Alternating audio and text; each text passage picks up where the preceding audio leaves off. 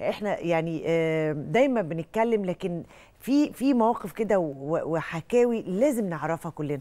طب غير الشيخة فرحان خليني أحكي؟ لك قصة آه، الحاجة فردوس فرحات. آه الحاجة فردوس. دي سيدة من النوبة أسرة نوبية جميلة من أب وأم وابن الأب بيتوفى فالأم بتربي ابنها الوحيد على الوطنية وعلى الكفاح وبتصر إن هي تدخله كلية الطيران الحربي وإن هو يشترك في حرب أكتوبر ويدخل الحرب ويستشهد في الحرب آه. شهيد طيار آه، آه، صبحي الشيخ ده واحد من أهم الطيارين اللي شاركوا في حرب أكتوبر وبيعتبر قصته مع أمه سجل ذهبي لازم نحكيه لأطفالنا وشبابنا لأي حد بيسأل على دور الأسرة المصرية خصوصا إن دي أسرة نوبية بعيدة عن الحرب وبعيدة عن سينا. بالظبط. ولكن إحساسهم الدفين إن هم لازم يشاركوا في الحرب وإن هي أم حتى لو لابن وحيد لازم تزقه إن هو ياخد بطار بلده ان هو يحارب ويستشهد.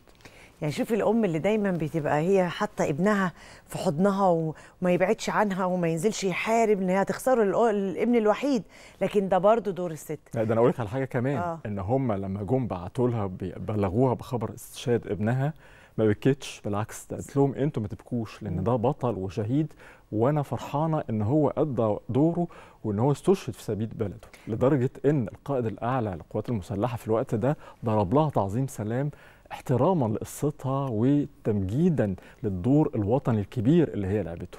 أيوه فعلا زمان كان لما يجوا يقولوا لها الخبر كان في ناس كتير يقولوا لها زغرتي. بالظبط. يعني انت ابنك شهيد فكان بدل ما بيقابلوا الخبر بالبكاء والعياط لا كانوا بيزغرطوا لأن أعظم من كده إيه ممكن الواحد يشوف ان يدخل الجنة؟ يعني الجنه على طول ده ده, ده, شهيد. صحيح. بس هو وجع قلب الأم. انتمائي بقى البلدي ووطني بي بيفوق هذا الوجع. يعني الأم دي العظمة المصرية. بالظبط دي عظمة الامه الست المصرية. المصرية. بالظبط.